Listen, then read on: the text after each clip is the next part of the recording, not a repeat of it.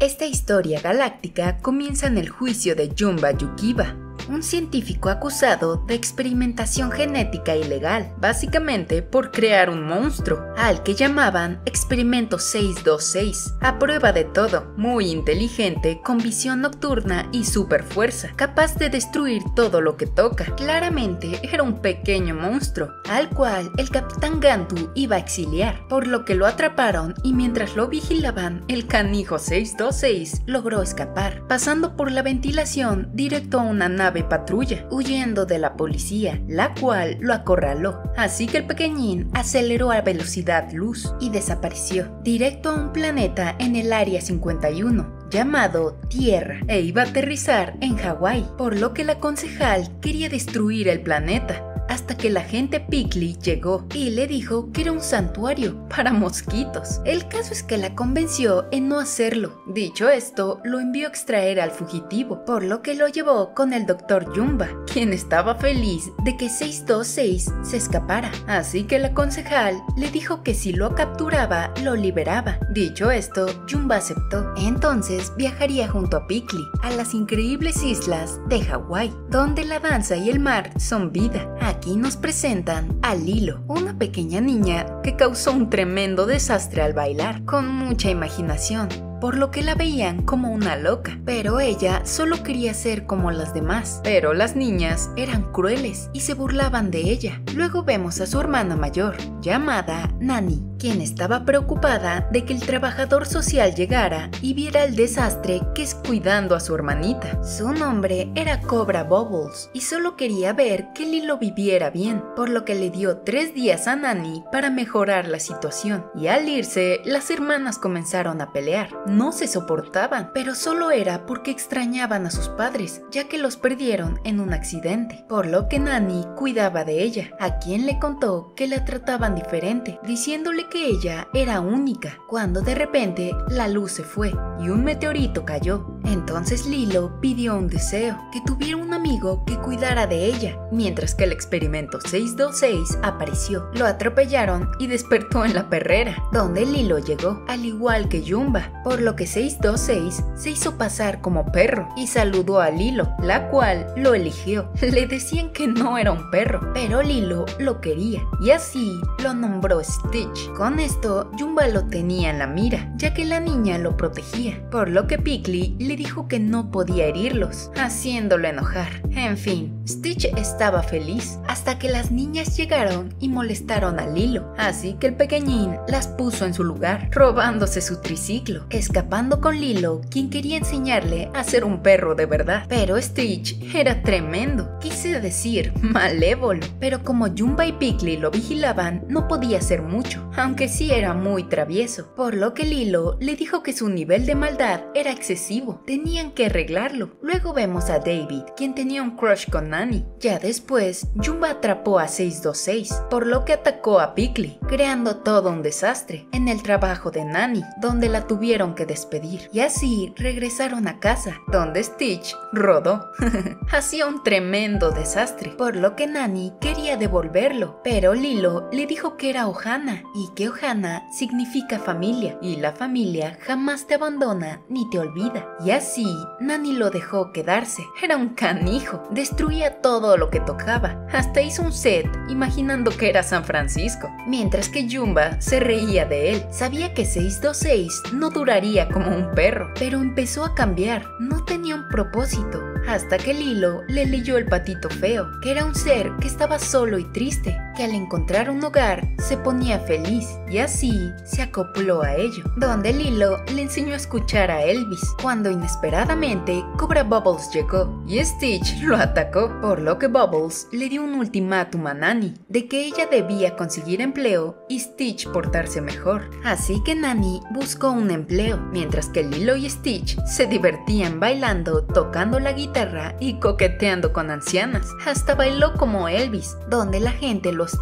por lo que los atacó. Y así, Nani no consiguió empleo, por lo que Stitch se sentía culpable, hasta que David llegó y los animó a surfear, deslizándose entre las olas, algo que Stitch solo analizaba. Quería ser parte de ellos, por lo que aprendió a surfear, cuando Jumba lo volvió a capturar, por lo que Lilo no lo soltó, pero 626 no era ingenuo y les dio su merecido, pero perdió el aliento, hasta que David lo salvó. Todo esto lo vio el señor Bubbles, quien quería llevarse a la niña, rompiéndoles el corazón, hasta Stitch, sintiéndose culpable y solitario como el patito feo. Pero al ver a las hermanas despedirse, Stitch comprendió algo, que no tenía familia, por lo que quería irse, y así lo hizo. Se sentía perdido. Ya después, la jefa buscó a Pickley. Quería saber de su misión y como no tenían avances, los despidió. Así que mandó al capitán Gantu a terminarla. Mientras que Jumba al fin atrapó a 626, quien le dijo que lo inventó que no era parte de nada, por lo que Stitch huyó.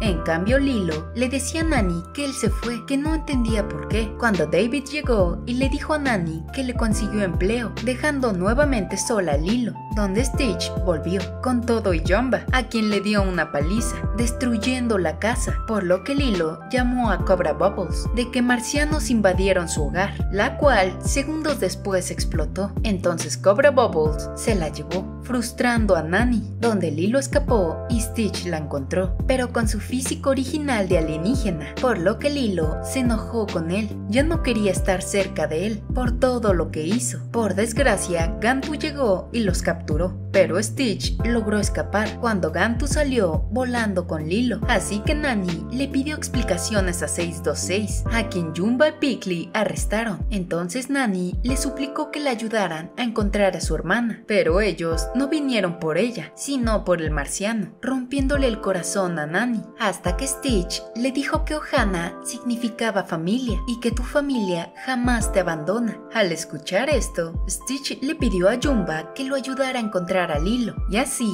el científico loco no pudo decirle que no, por lo que fueron por ella. Tomaron una nave persiguiendo la del capitán Gantu, quien les disparó e iban a chocar. Entonces Stitch saltó y trató de liberar a la niña, pero no lo logró, así que tomó un camión de gas, lo dejó caer en un volcán y al explotar impulsó a Stitch hacia Gantu, sacándolo de su nave, liberando a Lilo, y así no solo salvó a Gantu, sino a todos, hasta que la gran concejala llegó y arrestó a 626, quien la corrigió que su nombre no era ese, sino Stitch, y que quería despedirse de su familia, la cual lo encontró. Al escuchar esto, dejó atónita a la marciana y a Bubbles, quien resultó ser un ex agente de la CIA y conocía a la concejal, a quien convenció de que Stitch se quedara, ya que Lilo pagó por él, y así lo dejó vivir en el planeta Tierra, siendo protegido por la Federación Galáctica. Dejó libre a Jumba, reconstruyeron la casa, Stitch bajó su nivel de maldad, ya que ahora formaba parte de una nueva Ohana, conformada por Nani,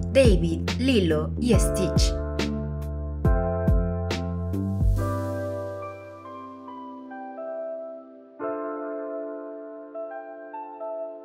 Imagínense ser un villano extraterrestre, un inventor psicópata malévolo, que creas un experimento que está vivo, con una mente malévola, capaz de causar caos por toda la galaxia, por lo que las autoridades se dan cuenta y te detienen, justo en el momento donde tu experimento se está cargando y en pleno juicio logra escapar a un planeta lejano llamado Tierra, donde se escabulle entre la sociedad, se hace pasar por un perrito y una niña lo adopta, que cuando la policía galáctica lo encuentra, le dan una oportunidad de vivir y demostrar su bondad junto a aquella niña. Al final lo logra y se queda con su familia, pero de repente empieza a tener fallas, ya que no se cargó bien cuando lo crearon, volviendo a ser un malévolo alienígena. Todo esto le pasó a Stitch. ¿Quieren saber con detalle? Bueno, todo comienza en los cielos, donde Stitch volaba sin parar, llegando a las islas de Hawái, espantando a todo humano con su nave espacial, destruyéndolo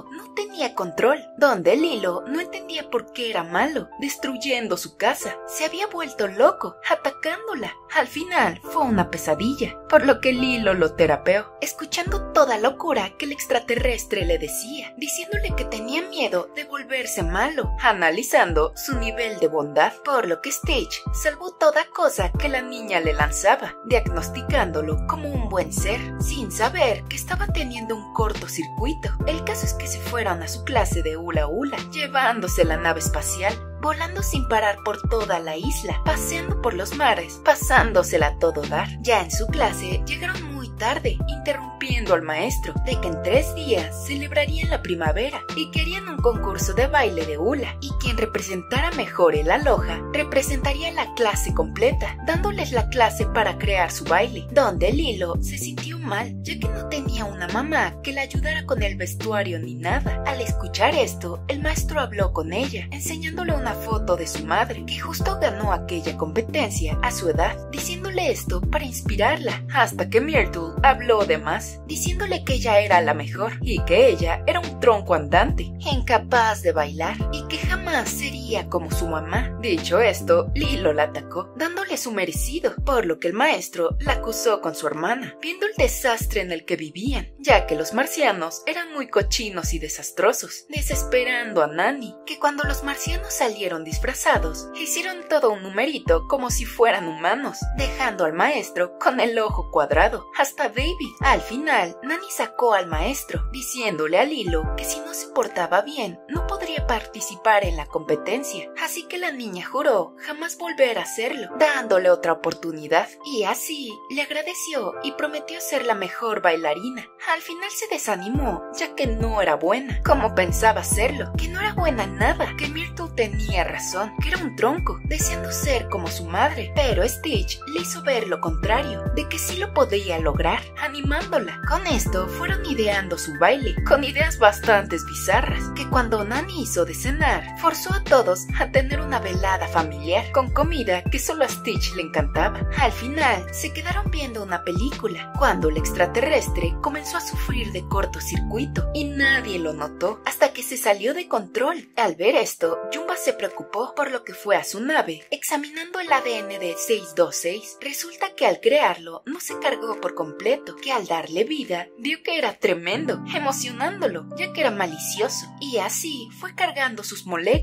cuando de repente la policía intergaláctica llegó, interrumpiendo la carga, que al arrestarlo, 626 no podía controlarse, que se iba a sobrecalentar, y así explotaría para siempre. El pequeño se sentía tan mal que le daba vergüenza salir, por lo que Lilo trató de animarlo, contándole una historia del gran Elvis, haciendo que el ser se sintiera mejor, ya que Elvis Presley era su héroe. Con esto se les ocurrió su baile, que iban a ir a todos los lugares que representaban mucho al rey del rock, a una lavandería, donde Stitch se alocó de nuevo y poco a poco se fue volviendo menos bueno. Le quitó el bigote a un hombre, se comió las donas de la policía y en la banca donde Elvis solía sentarse se sintieron iluminados, esperando una gran idea, pero nada llegaba y de pilón una gallina les robó un mapa, haciendo llorar a Stitch, que cuando Lilo lo animó, encontraron unos músicos que estaban tocando acerca de la diosa hawaiana, inspirándolos al fin, mientras Jumba trataba de arreglarlo todo, creando una cámara para cargar de nuevo a Stitch, y como no tenía la tecnología para armarla, Pickles se quería robar electrodomésticos de la casa de Nanny, poniéndose nervioso, que cuando Nanny se fue, ayudó a David a conquistarla. En fin, Lilo y Stitch se preparaban para su baile, que trataba de una diosa que tenía una gran amistad con un humano, por lo que la diosa del volcán se puso celosa de su amistad,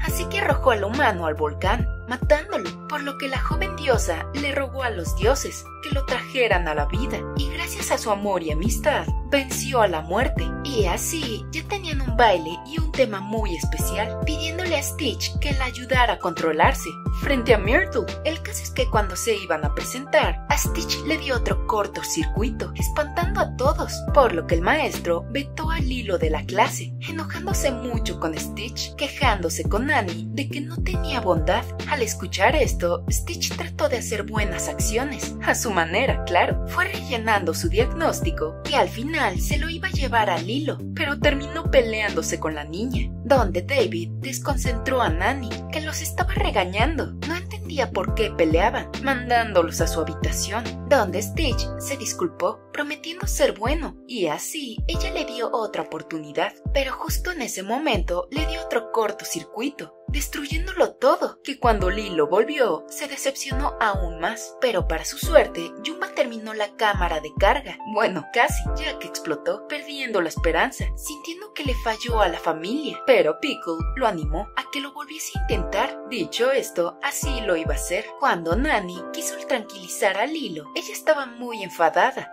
recordar a su mamá se sintió mejor, ya que quería ganar ese concurso para que estuviese orgullosa de ella, a lo que Nani le contestó que no necesitaba ganar eso para hacerlo. En fin, Stitch estaba muy preocupado por él, decepcionado consigo mismo. No sabía qué le estaba pasando, pero en su interior sabía que era bueno. Al día siguiente, Lilo se preparaba para el recital, se ejercitó y se vistió, presentándose, donde las demás niñas la miraron feo, pero ella no se detuvo y fue con el profesor que la dejó participar. Y así, cuando todo comenzó, Jumba terminó de nuevo la máquina, al mismo tiempo que Stitch estaba al límite, que cuando la niña iba a pasar, la atacó, oyendo que mientras ella bailaba su número, ella paró, quería ir por Stitch, donde Jumba le contó lo que le estaba pasando, buscándolo por todos lados, pero ya no estaba, huyendo en la nave espacial, decepcionándose de su familia. Aún así, fueron tras él, llamándole para que volviera, y en ese momento le dio otro cortocircuito, chocando, por lo que Nani dejó que volara en su nave, encontrándoselo herido, así que Lilo lo cargó hasta la cámara de carga, pero no estaba funcionando, donde el pequeño ser se disculpó por todo, desanimándolos a todos, y más a Lilo, que después de unas palabras, él ya no despertó, sin darse cuenta que se estaba recargando, haciendo muy feliz a la niña y a toda su familia. No sabían por qué se cargó, pero Stitch le dijo que siempre fue bueno, y así presentaron su baile en familia, representando el aloha, el ohana, y todo gracias a Stitch y su cortocircuito.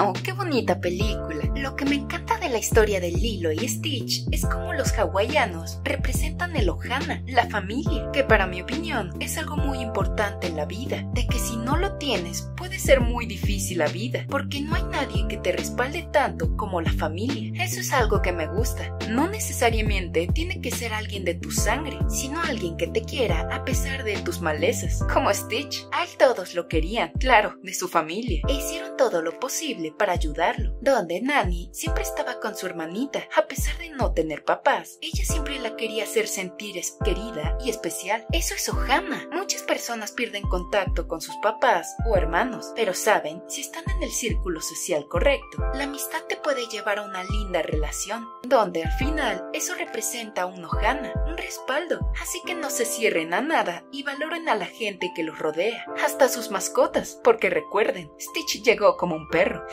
el punto de la película es que todos tenemos miedo de volver a ser como éramos antes, malos o que tuvimos un pasado turbio, pero con el apoyo correcto podemos demostrarnos lo contrario. Como dicen, dos cabezas piensan mejor que una, así que hablen con alguien que quieran mucho y cuenten todo lo que sienten. En fin, espero les haya gustado esta película. Yo le doy un 8 porque la historia es muy buena, su guion, y no sé por qué me da tanta gracia que hablen de Elvis Presley y que le encantaba a la niña. No lo sé, es un clásico de Disney, por eso merece un 8, hasta podría decir un 9, pero no es para tanto. Ah, en fin, sin más que decir, gracias por llegar hasta aquí. No olviden suscribirse al canal secundario o seguirme en mi Instagram de Casalfy. Les mando un saludo y, como siempre, sigan siguiendo pelis.